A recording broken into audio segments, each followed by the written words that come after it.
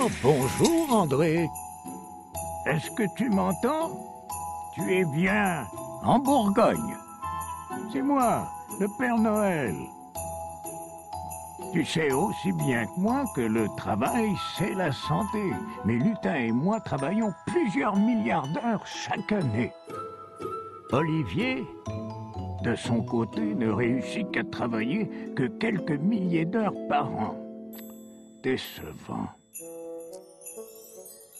Ceci dit, il semble qu'il adore travailler avec toi. Et je comprends pourquoi. Tu peux croire le Père Noël quand il dit que des gens comme toi, c'est rare et très précieux. Donc, suite à ce témoignage, permets-moi de te féliciter pour une autre année productive. Et je vous souhaite à tous les deux que l'année qui vient soit pour vous plus facile que celle que vous venez de connaître.